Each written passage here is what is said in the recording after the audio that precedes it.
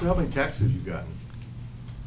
Did Uh, it wasn't. It wasn't bad. Yeah, it wasn't bad. This last year, um, you know, somewhere around three hundred total. Um, this year is only about hundred or so. You're just not popular. Yeah, yeah. Well, I, I I don't know if this crew like really like what happened is that they the convocation ended and a bunch of kids started leaving, Oh. and so probably about half of them stayed. I got a lot of FaceTime calls, but people didn't believe that it was my number. So when I answered, then you get the ah, and that, so that, that's always funny. I love it because my wife is always she's next to me and she she just cracks up. So it's, it's really funny. Whoever wants to start? Is there a way you would summarize the trip to the Middle East and in two minutes or however you could do that? Oh man, it, it'd be hard to like put into to condense the thing. I first have to thank uh, Athletes for Israel, Daniel Posner, for um, putting this thing together and helping us, and then CSM, Lee Miller. I mean, those two like really stepped up to the table, and um, they had a mission of what they wanted to accomplish, which was to show unity um, through athletics. And I mean, we saw it in action in Israel, and then being us in Arizona being the first two college teams to ever travel from Israel to an Arab country, uh, going to Abu Dhabi. I mean, we made history, and it was just a great time. Um, our host Jason Fine was incredible. He was with us the whole time and made sure that everything went smooth, and even up to the you know the airport when there was some ticket issues and. Um, I mean, Jason was unbelievable. Uh, Bailey, uh, my director of operations, she was a champ in putting this whole thing together, keeping everything running. And I I don't know, I don't know, could have went better. We had a little flight issues, but other than that, um, everything else was just wonderful. And um, on the trip with us was Dr. McAfee and Kim, and uh, that we're just so thankful that they took time out of their schedule to come spend that time with us, made sure our athletes were taken care of. And then uh, Marty Vanier came on a trip, and she was just just terrific. I mean, you learn so much about her love and passion, and her family's passion for Kansas State, and I mean, it just meant meant so much to us. And uh, uh, Coach Clark and Julie came along to help chaperone that, and uh, I had a blast with Coach Clark. And I've got some some video that uh, so that I um, I'm gonna save it for the right time to release. Coach Clark really um, getting it in with a belly dancer, uh, but uh, my, father-in-law's in it too, so I got I got, I got cri- incriminating evidence on both of them. now both of their wives were right there, so it was just we had a wonderful time. I mean, everyone. Uh, we had three goals on this trip. Number one was for all of our players to go and have a great time and want to come back to school. Okay, and uh, with the day and age of the transfer portal, uh, you know, I mean, uh, it was very important that every young man saw that they had a role uh, in our team and they were going to be uh, a major contributor to what we were doing, not just for this year, but moving forward. And so, goal number one was accomplished. Number two was that we represented K State on and off the court in a way that, uh, I mean, at the highest level of character and integrity. And basically, what we wanted, my goal was that, that we wanted them to invite us back. And I'll just one example is on our trip over, uh, when the flight attendants came over. It's a 12-hour flight from Atlanta to uh, where were we flying to Tel Aviv. And when the flight attendants came over a few hours into the trip and just said, "Coach, your, your young men are just so respectful and so engaging, you know, so polite," and you know, those are the things that really mean so much to you as a coach when your guys really their their true character comes out. I'm not around them the whole time, and their true character comes out. And so, uh, and then the third goal was that for our staff, because um, people ask how has summer been, and I don't know that we've had a summer.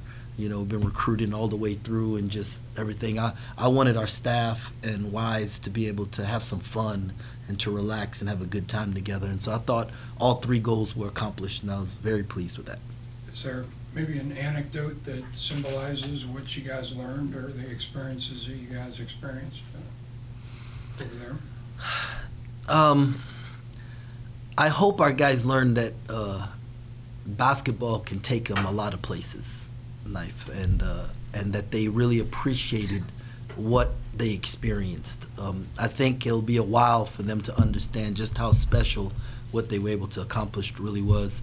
Um, understand that that sports, you know, can really bring people together, and they were able to see. Um, I mean, we traveled. We went from Israel into Palestine to visit Bethlehem, and then uh, came back. And uh, Israelis aren't allowed to cross that border, and Palestinians aren't allowed to cross back. And that was so special to do. And had a meal at um, Kamal's house in Palestine, and uh, he's a Palestinian Arab Christian. And his mom shared her story about being in Germany and then traveling back uh, to Palestine to get married and you know arranged marriages, which my daughter didn't like to hear. Um, but I mean, just the whole time. I mean, meal at their home, they fed all of us. It was just. I mean, all the meals were just unbelievable. I think I told y'all somebody had asked me what I was most looking forward to, and I said the food, and the food blew everything away. It was the time we got to share around the table and, and understanding when we talk about breaking bread here, you know, um, there you actually break bread with your hand and dip into the bowl and pass things around and to watch the guys have that kind of community and team building you you can't like I, I can't fabricate that or, or put something together to, to get them to have that kind of experience. And so it, it was it was spectacular. What, what did you find to be most impressive of your guys on the court? on the court? Ooh we're, well I, I've, I've always felt like we're pretty fast and uh, I, I feel like we could be the fastest team in the country and uh, by uh, our speed, our ability to get up and down the court, each individual person a little bit quicker. At, I think we'll be quicker at most positions uh, than most of the teams we play against. So, um, our so I'll start with our freshmen. Uh, Dai Dai's probably had the best um, off season of the three freshmen. He's just like really showed. He's got some toughness to him. He's really competitive in the weight room on the court you know, just has someone that he he probably didn't play as well as he wanted to play, and, and, and that's okay. Uh, RJ and Buddy both, you know, came in out of shape, and uh, we had to get them into some kind of shape so that they can compete. But when the lights came on, they both had really special moments at times. But they also were freshmen, so they had the up and downs, and so you know we saw the reason why they're here and why they're going to help us be a real good program moving forward. Um, for the you know, the red shirt guys, I thought uh, Jerrell, you know, got better every game, ending the last one with a double double. And, and you wanted to see that. You want to see his confidence grow. And, um, you know, Dorian, uh, he hadn't gotten a groove yet. and But, you know, he just does some things that, uh, you know, you let you know he's got a chance. You know, he's gonna gonna be all right. And Taj, when he plays with energy, he, I mean, he was he was really good and, and consistent. You know, with what he did. Uh, those, those the four you know older guys you know with um, TP and uh, Quan, Arthur, and Cam. I mean, I think as a staff we walked away and said, all right, we got you know four dudes there that um, we can count on every night. So. How far has Nae'Qwan's game come in last compared to a year ago now? Um, you know, I, I, he's more confident, right? He knows he can do more things. Um, uh, he's he's really we just really want him to embrace the fact that his energy level, his speed, his quickness, um, he can he can dominate a game on both ends of the floor. And there was a spurt there against Mexico where he took the game over and had a couple dunks, a couple nice drives because he was in the passing lane, and you know, um, and so uh, that that was good to see. We just want to see that more consistent, and, and it'll come both uh, both Arthur and Tylor had one really big game apiece out there. How how good of that? How good was that to see them do that as transfers? Yeah, uh, Arthur that, that first game man was really locked in, and um, the second game he got in foul trouble. And what's crazy is I told him he was a magician because at the end of the third quarter against Mexico, he had four fouls and he was sitting on the bench. And at the end of the game, he only had three fouls. Yeah, and Quan Quan had three fouls, and in the fourth quarter he got five fouls, and we were like, "How did that happen?" So we had Arthur sitting on the bench with three, was supposedly thinking he had four fouls when he only had three, supposedly, and Quan on the floor, you know, and so that foul thing kind of messed some stuff up. So that second game kind of kind of messed. Up. So that's up. why he fouled out with five minutes to go. Yes. Okay. yes, that that that's what happened, and so. Um, you know, it's crazy because kids will go back and look at the score sheet and say, "Man, coach and them said I had four fouls, and I only had three fouls, and so we was able to show him the score sheet. And I mean, it's just the information they gave us, you know. And so, but you know, uh, it was good. I mean, Arthur's a good player. He's a good player, and, and our goal, our our our responsibility, and his responsibility is to get him to where he's consistent every night, and uh, and I think we'll be able to get him there. And TP's, I, I wasn't fabricating, or it wasn't it wasn't hyperbole when I said he's the best shooter in the country. He is. He's just he was just not used to having the freedom. And and once again, it's not a knock on anything. He, the style of play that allowed them to win was different at North Texas than the style we want to play that's going to allow us to win. And it's just going to take him some time to feel comfortable taking some shots that he hadn't been allowed to take. And uh, but I think he got pretty comfortable there that last game. 18 minutes, got up 11 threes and made nine of them. And so. Uh, you know, exciting to see that. And Cam was just solid all the way through, man. He's he's really taken a big stride, and uh, with all of them, you just uh, what we have to concentrate now when the season starts is get to where uh, missed shots don't affect their confidence, and uh, that's gonna come from work. On the other side, was there, were there, was there anything that maybe was exposed a little bit, or things that you now know that you need to, to work on going into the season? Well, we knew rebounding was going to be an issue, and uh, was an issue, and why we lost the last game last year, and so we're, we're working on correcting that. and We'll continue to do that. Um, not having David there obviously plays an impact, and so, uh, but David did a great job with his Netherlands team. Um, I knew that, like most of the teams we played, they're used to being iced on the side, and uh, you know they're used to the, so they know how to attack it, and so there was a lot of pressure put on our closeouts on the backside, and and I felt like we did a good job of that. Um, the guys, you know, when they make shots because they get paid to do it, you know, they just make shots. The question was, did our guys see it? Did they scramble? And so uh, we saw some stuff that we're going to have to continue to get better at. But we, I thought, for the most part, I saw our guys fly around and, and look pretty good.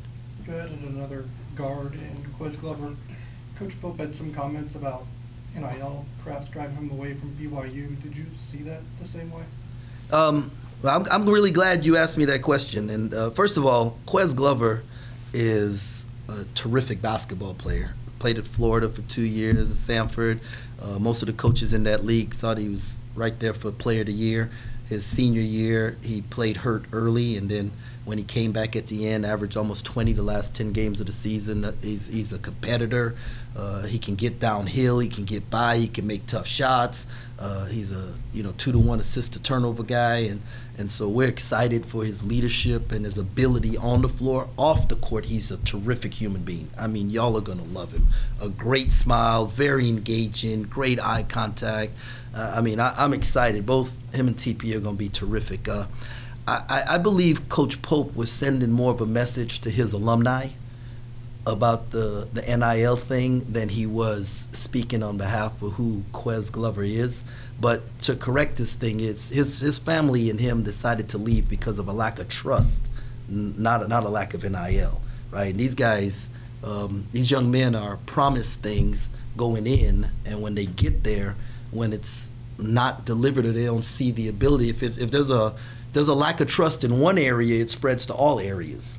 Okay, and so it, it wasn't an NIL movement; it was a trust movement, and uh, he just didn't feel like they could do what they said they were going to do. And uh, I think Coach Pope uh, would be willing to agree to that also.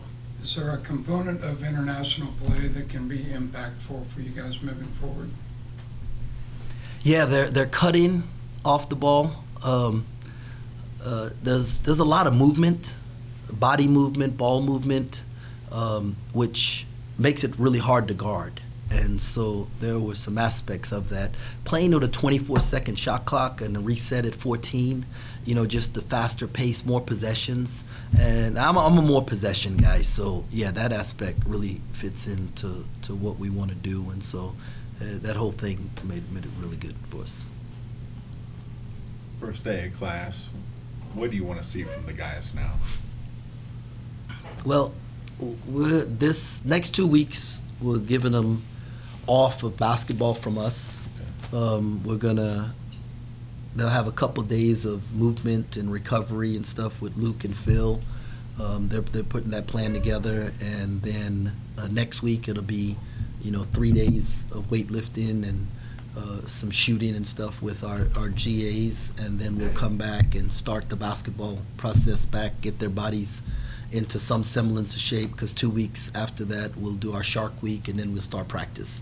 And so there's a build-up that has to take place. Uh, you know, I, I- want the guys to be excited about being in the gym, and, you know, happy to be back, enjoy uh, being a, a college student for a little while. Um, I think most of them probably try to go home this weekend and, uh, you know, see their families because we've been gone for a while. But uh, try not to, I mean, we got to figure out how to let them rest with the work we've just put in also.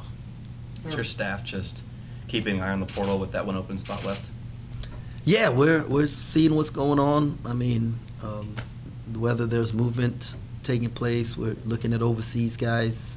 You know, um, a lot of these guys who have played uh, professionally but only received room and board, you know, are, the NCAA is considering them amateurs. And so we're checking into all of that. Catch any of what Dave did for the Netherlands while you guys were overseas? Excuse me. Yeah, we, we were able to see him, and uh, I mean, he most he had you know two really good games, and then one game where when you come off a big game, then you get put at the top of the scouting report, and so you know I don't he did you know he had to adjust to that, but you know his rebounding was good. He he shot the ball well, and his movement. You know, I mean, he showed he could dribble handoff. He could you know do some things, and so it's making us look at some other things to do with them. Excuse me. What's your guys' timeline and, in kind of figuring out red shirts for, for next year, if, if those freshmen will be able to? Yeah, we're not even talking about that right now. Right now, it's uh, you know, it, you know, we want to figure out. I mean, you know, we'll start off probably playing ten, and, you know, and then shrink it down a little bit from there. And you got to figure out who the ten are going to be. And um, we never choose red shirts; they they choose. You know, and um, we'll, we'll see how that goes. Did Dorian get a red shirt last year? You mentioned him. Uh, it, it's it's in the process of being worked on, so we'll see what happens there. With, with Glover, what was the final um, recruiting um, push on that with you being overseas? Did you just do a lot of Zoom calls, or how did that work out? Uh, yeah, well, I think he did his research, being a teammate with Keyontae Johnson, Right. you know, and his mom, his family being able to talk to Keyontae's family, you know, and just find out, you know, more about us and who we are.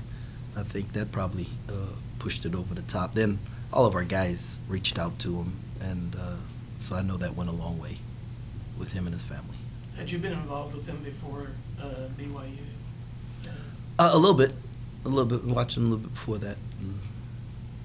Thinking in particular of, of uh, Arthur Kaluma, but what are the individual sessions you have for players to lay out the parameters of how they play and where they played previously and how that will affect what they do at Kansas State? Yeah, um, you know, we know like guys like Arthur and Quan, they can do a lot, you know, and so to to limit or to put them in a box like, hey, this is what you can do, and so this is what we need you to do. Um, I, you know, I, I'm a, I'll give them the opportunity between now and probably you know halfway into the season to to determine like what they can and can't do and how it's going to best affect help us winning going forward because the goal is not to peak at the beginning or to be at our best at the beginning but you know to to get there in March February and March and so that's um, so right now they're allowed to do anything that they think they can do and that we work on in practice and then we'll figure out how to help them do it the most efficient way. Were there any revelations in terms of personalities or what players can do on the basketball floor during the trip? Uh, more personalities. More personalities. TP's a, a run to the battle guy. Um, in several instances, you know, there was some different things we were in where he volunteered. This is non-basketball stuff. He volunteered to be the person. You know, he was the, you know, one of the first ones up with the, the belly dancers, and Dai Dai was right there with him. And you know, like you see their personalities. Who's the ones that at the front, and who's the ones that kind of like right behind that, and who's the ones that stay behind and see what's going on before they get involved. So we were able to, to learn a lot about their personalities that way. Curious, if you said you gave out your phone number last year at convocation too? Yeah. Did you have any students take you up on that, call you, coach, I need a ride at home or something like that? Uh, I've had um, parents reach out for their kids who were struggling and asked if I would just check on them. I've had uh, kids, young man yesterday uh, needed some gas, and so I met him at the gas station, put some gas in his car, and um, you know, yeah, I've had kids, but I've also had them uh, say, "Coach, we got this going on. If you can stop by." And it's been so helpful for me to get to know about the college life and what's going on, and you know, for me to stop in for five minutes and say hi, it means the world to them, and, and I learned so much. So yeah, it's been a, a lot of, we, I I've been as rewarded in this as anything else. Why is that so important to you? I mean, most coaches probably aren't stopping by like the the frat houses, right? I, I got two kids on campus, and I hope that uh, a professor, someone else on campus, will uh, take an interest, see if they're having a good or a bad day, and be willing to, you know, put their arms around them or just just talk to them and understand that they're they're people, they're people away from home probably for the first time, and um, you know, and they just need to know that somebody there cares about them. So. What kind of led to you wanting to do that in the first place last year? Uh, Matt Driscoll at uh, North Florida. Uh, he told me he gave out his number when he's been there for 15 years, and he told me like his second year there, it might have been he gave his number out, and uh, just the response he got. And I thought he was crazy. I was like, Coach, you got 3,000 freshmen, and and he says the best thing that he ever did, and so I was very thankful he shared that with me. Do you have any coaching friends who have called you crazy for doing it? Oh yeah. The reports are that season ticket sales are kind of through the roof. I know you're probably getting feedback on that. How excited are you to hear about that? Man, that, that, that is great, right? But check this out. We have never sold out every game for a season.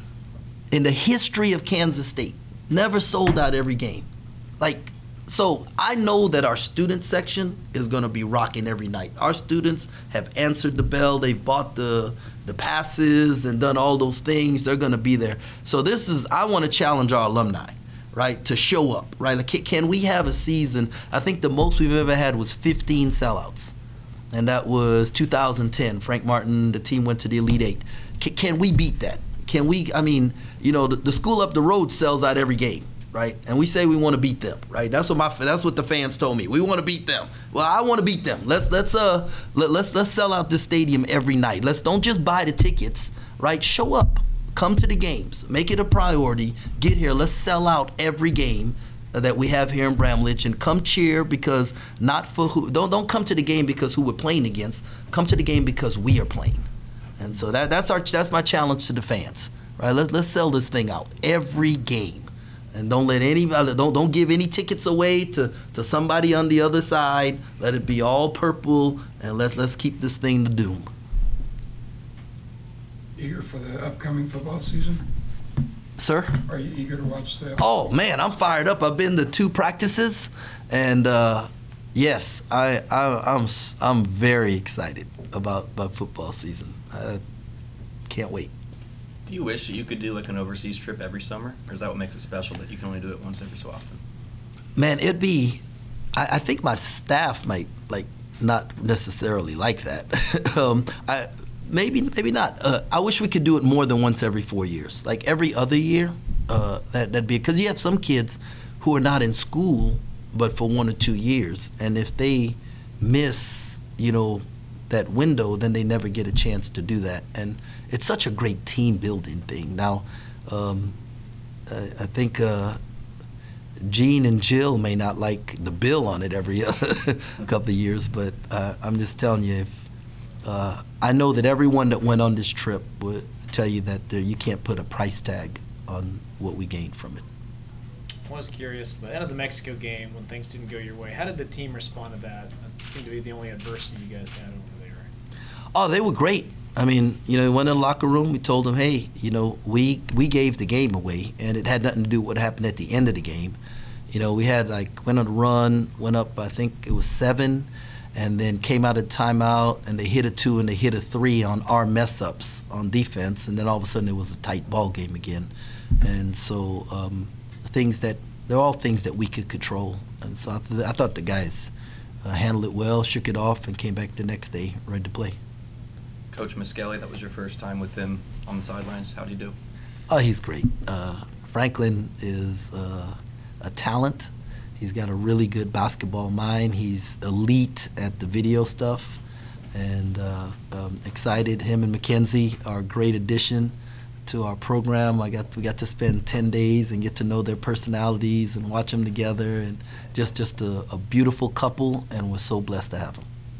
I know before the trip you said it was a bucket list item for you to go there. What was it like getting to share that experience with your coaching staff and kids who also said they were excited for like religious reasons and stuff? man, uh,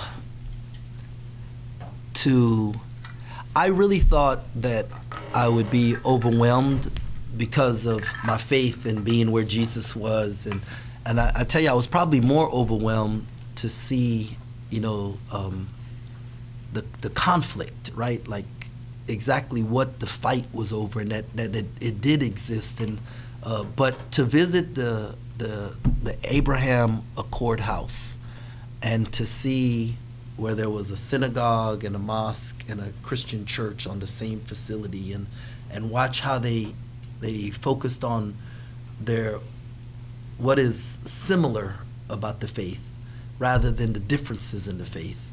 That that was really really moving, and uh, I mean sports can bring people together, and um, so the the whole thing. I, I, I mean, I just don't have. I wish I was had better words to describe what we felt, but I know that every guy on our staff and every wife, um, everyone has said it was by far and away the best trip they'd ever taken, and uh, the people in in Jerusalem was so gracious and wonderful. and Tel Aviv, it was.